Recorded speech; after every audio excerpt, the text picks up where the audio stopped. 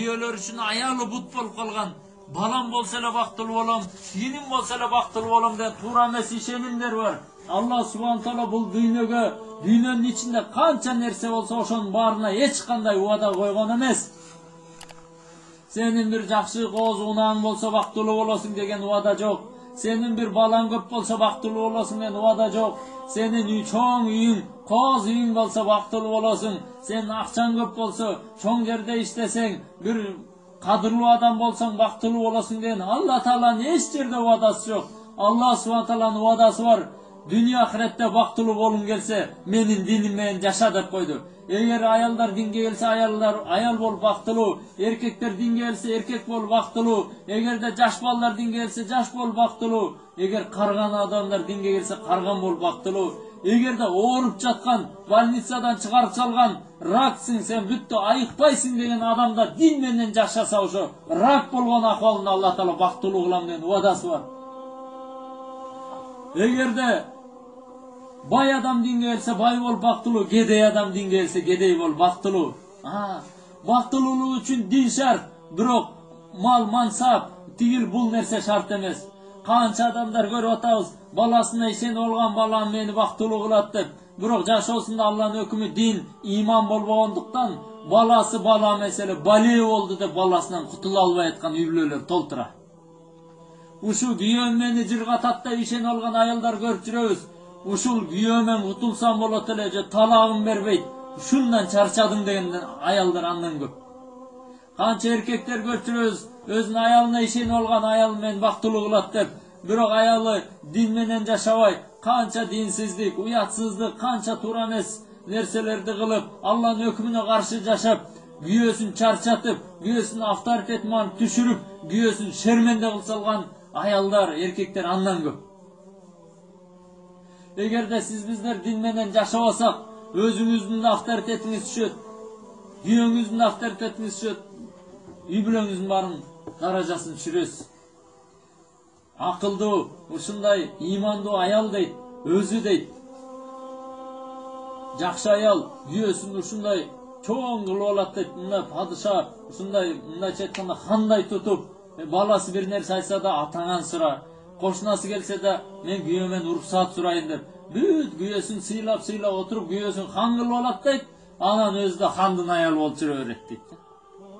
жаман аял болсо э бул күйөөң атаң билмей эле койчу э ошол да менин күйөөм да адамбы ал акмак деп отуруп өзү акмактын аялы болуп жүрө берет дейт да ошон үчүн сиздин эркегиңиздин даражасы өссө даражасы өскөн адамдын аялы болот экенсиз а эркегиңизди жамандап элдин баарына ушактап анан нааразы боло берсеңиз ошол жаман адамдын аялы болуп жүрө берет экенсиз да ошон үчүн сиздин өзүңүздүн келечегиңиз өзүңүздүн колуңузда дегендей жакшы аял ошентип кадырын көтөрүп алат экен күйөөсүн алла субхан таала бизди бактылуу болсун деп өзүнүн өкүмдөрүн себеп кылган беш убакт намазды өкүм кылган беш убакт намаздын даражасы исламда беш убакт намаздын орду ушундай дейт кандай денеде баш кандай орунду ээлесе колу буту жок адам бар экен ар кайсында адамдар көрүп атабыз э бирок башы жок адам болбойт экен ошондой эле кимдин жашоосунда намазы болбосо анын жашоосунда дин, дин бар деп айтыш кыйын экен да пайгамбар саллаллаху ошон үчүн ким беш убакт намазын окубай жүрсө жакшылап ойлонсун мен өзүмдү мусулманмын деп көкүрөккө чаап атам кыямат күнү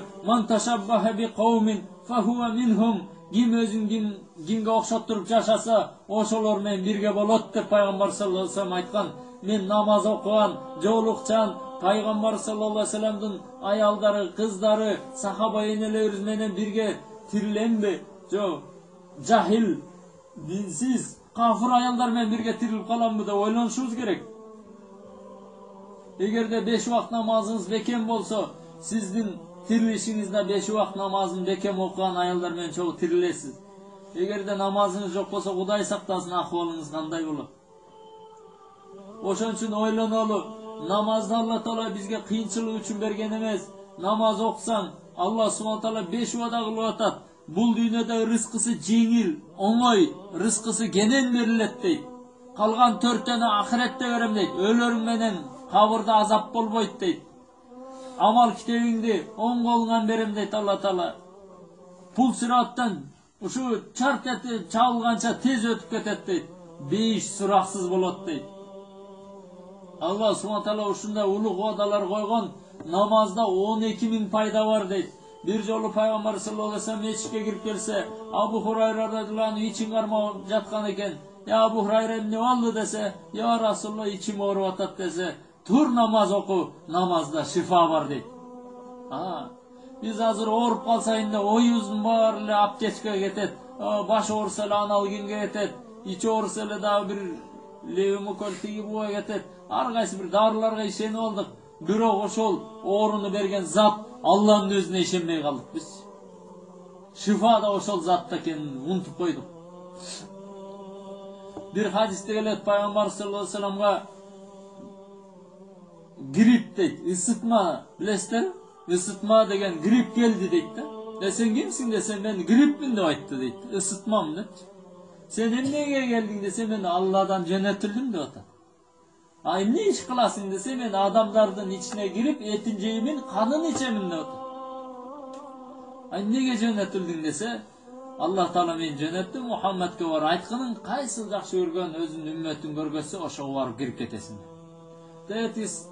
суфада ансарлар отурат ошол жака бар деген экен бир маалда канча убакыттан кийин баягы ансарлар келди дейт э алланын элчиси биз ысытма болуп температура болуп калдык депчи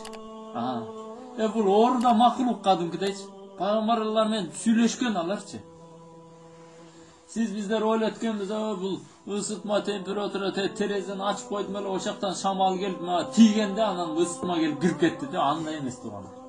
бул алла тараптан берилет алла тараптан оору инсанга өзүнүн сүйүктүү пендесине мусулмандарга рахмат болуп берилет алла таала күнөөнү кечириш үчүн өзүн эстеттириш үчүн даражасын көтөрүш үчүн өзүнүн сүйүктүү пендесине оору берет кафырларга алла таала ооруну азапташ үчүн берет экен да мусулмандарга болсо ооруну райым кылып күнөөсүн кечириш үчүн берет ошон үчүн бул ооруну да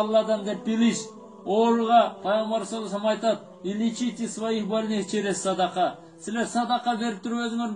ооруп атканыңарды айыктырып албайсыңарбы дейт да. Бир берилген садака оору канча жетимиш балени артка кайтарат дейт да азыр биз садакадан эч кабарыбыз жок жума намаздарга барганда көрөсүң чоң эле байкелер калың кошелегин ачат да ичинде миң сомдук беш жүз сомдук канча эме турса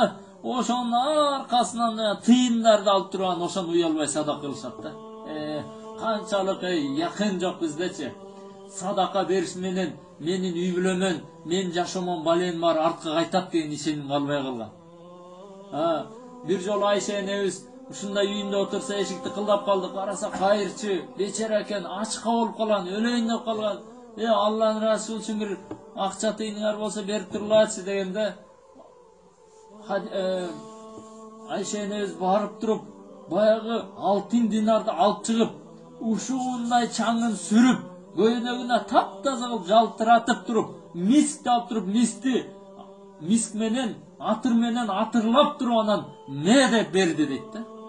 баягы кызматчысы айтты дейт э айша эмне мындай бул садакага жөн эле берип койбойсузбу эң таза динарды аны да жылтыратып тазалап туруп анан миск менен сээп туруп бердиңиз десе бул мискин го жөн эле берип койбойсузбу мискинге десе э кызыксың го мен бул мискинге берген жокмун мен бул өзүмө каалаган нерсени аллага бердим дейт да. Кыяматта алла таала муну чексиз эселетип кайтарып берет ким алла үчүн деп сураганда алла үчүн ким эң жакшысын берсе алла субхана таала ошонун ыхласын кабыл кылат экен азыр алла үчүн бергилечи деп кайырчылар турса эмесин беребиз да эми албетте сизди кайырчыга бер деп кыйнаган кез жок пайгамбар саллаллаху айтат садаканы силер жакын туугандарыңардан баштагыла дейт канча туугандарыбыз бар кедей бечара э бирок канчадан бери акыбалын алып койгон жокпуз бир мүшөк унду машинеге жүктөп барып туруп бир мүшөк сахар бир пачка чайды алып барып туруп э алтыным тууганым эми мону менден алып койчу эмнеге десе жөн эле менин тууганым экенсиң деп бир таштап койгон жокпуз э обязательно эле только ата энеге бериш керек деп билип алганбыз калган бир эки двоюродной туугандарды уже мындай тууган катары эсептебей калганбыз да болбосо аллах субхана тағала хадисте айтат ты давай чтобы я для тебя давал ты не жадничай чтобы я от тебя не пожадничал дейт ты не запасайся чтобы я тебя не запасался сен бергиниң дейт мен сага берейин сен дейт топтобо дейт сактаба дейт мен сенден сактап койбойм рызкыңды дейт да. Мусулмандар илгери ушундай эле илгери зайнул абидин рахматулла өтө чоң бир аллахка жакын инсан өткөн ошол киши дейт билинбей жүрө берет эле дейт качан өлгөндөн кийин билинген дейт жүздөн ашык үй бүлөнү жылдап жылдап обеспечивать этип келген экен да. Продукты кийимгече аял бала чакасын үй бүлөсү менен бүт баарын жүздөн ашык үй бүлөнү обеспечивать этип келген экен бирок ошо тирүү кезинде эч ким билбептир ошо берип атканчы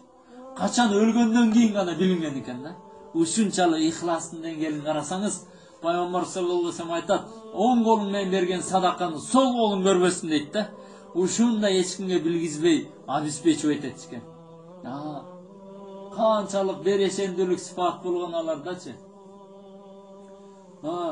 ошон үчүн туугандар аллах субхана тааланын убадасы өзүнүн өкүмдөрүндө бир хадисте келет пайгамбар саллаллаху алейхи вассалам айтат эгерде өмүрүңөрдүн узун болушун кааласаңар эгерде рызкыңардын кеңинен болушун кааласаңар туугандарыңар менен мамилени бекем кылгыла дейт биз азыр үйүбүзгө бир кедейирээк айылдан тууганыбыз келип калса эми бул келдиби эми бул эми көп жейт экен көп ичет экен эми муну айтчы бир башка эле туугандардыкына барбайбы эмне эле биздикине келе берет деп канча азыр ыйманыбыздын түшүп кеткенден ушу кесир сөздөр чыгып кетип атат.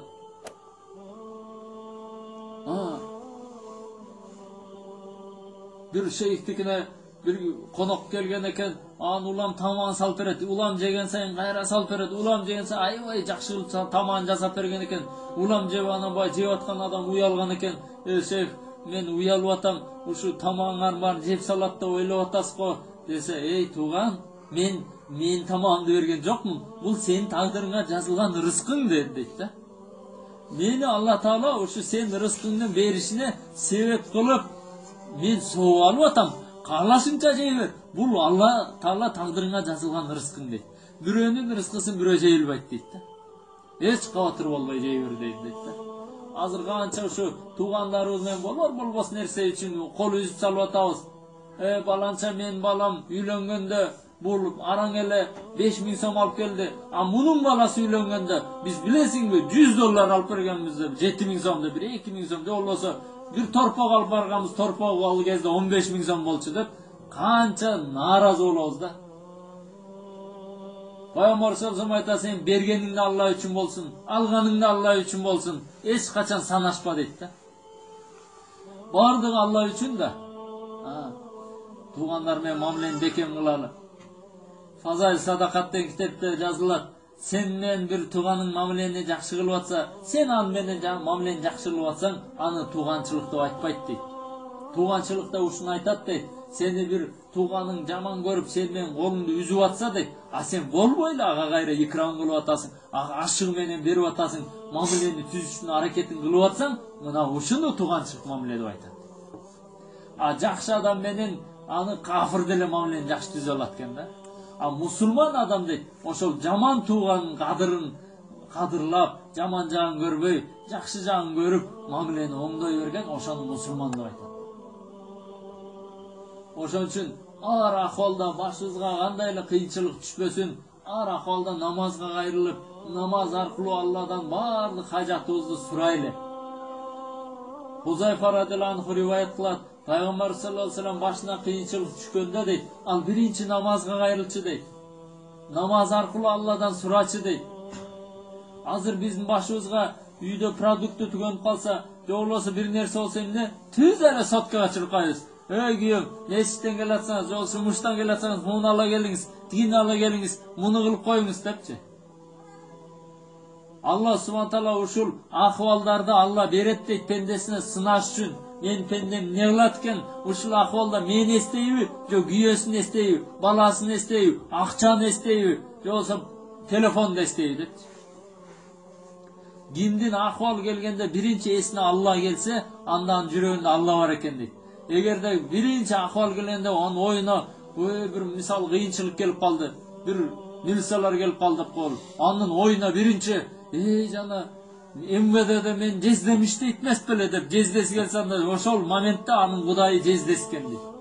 прокуратурада бир тайкеси иштесе э ошо тайкем прокуратурада иштейт эмес беле деп ой биринчи ошол келсе анда жүрөгүндө ошол тайкеси кудай экен дейт да сахабаларга болсо кандай эле акыбал келбесин биринчи оюна аллах келет эле да намаз окушат эле да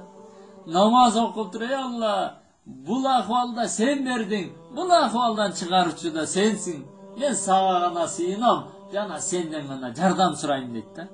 фатиха сүрөсүндө алла таалага жалбарыштын формуласын алла таала айтып койгон ияка набуду ва ияка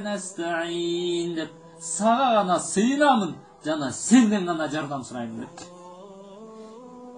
азыр биз жүрөгүбүзгө бүт нерселерди о тиякта чоң жерде иштеген досубузду тууганыбыздын баарын жүрөккө отургузуп алдык бирок ким эле жок жүрөктө алла калбай калды да алла жок ошон үчүн урматтуу менин эже апарындаштарым ушу намаздарга бекем бололу ушу үйүңүздө туз түгөнсө да барып эринбеңиз дааратты алыңыз да жай намазды жайып туруп эки ракат намаз окуп хажат намазын окуп туруп я алла ушу жарыбаган туз түгөнсө да мен сага муктажмын ey алла өзүң хажатыбызды чечип бер деп дуа кылыңыз шейхтер айтат силер дуа кылганда аллахка себеп дуа кылбагыла дейт силер хажатыңарды сурагыла дейт бирок алла таалага акыл үйрөтпөгүлө дейт ey алла туз түгөнүп калыптыр сен менин күйөөмдүн жүрөгүнө салып койчу ал дүкөнгө барып анан туз сатып келсин депчи андай дуа кылбагыла дейт ey алла мен муктажмын өзүң чечип бер деп дуа кылгыла дейт алла таала күйөөңүз аркылуу береби же болбосо асмандан түшүрүп береби же болбосо жерден чыгарып береби өзү билет каяктан беришти дейт ошон үчүн туугандар ар акыбал келгенде намазга кайрылыш алланы эстеш алланын өкүмдөрүн аткарыш бул пайгамбар саллаллаху алейхи вассалам тарикасы адат жашоосу болгон пайгамбар саллаллаху алейхи вассалам кайсында келет кимде ким күндө кечинде вакыя сүрөсүн окуса ал эч качан кедей болбойт деген жана пайгамбар саллаллаху алейхи вассалам өзүнүн үй бүлөсүнүн кыздарына вакыя сүрөсүн окууга буйруйт эле азыр караңыздар курандан өтө алыстап кеттик азыр үйлөрүбүздө өлдү дегенде эки үч саат телевизор иштейт болбой калды дегенде чукулап интернеттерге кирет экенбиз эки саат үч саат жөн эле отуруп коет да э бирокчу бүгүн беш мүнөт куранды ачып арабча ушу куранды ачып окуганга убакыт калбай калды мүнөткөчү ушунчалык алсыз болуп калдык азыр баардык бир жарым саат бир сериалды кинону көрүп коет экенбиз жөн элечи а бирок азыр он мүнөт фазаиламал тандалган хадис китептерди ачып туруп келчи бир үйдө кичине таалим өтөлү бир тажвид өтүп коелучу деп ушул неме калбай калды биздечи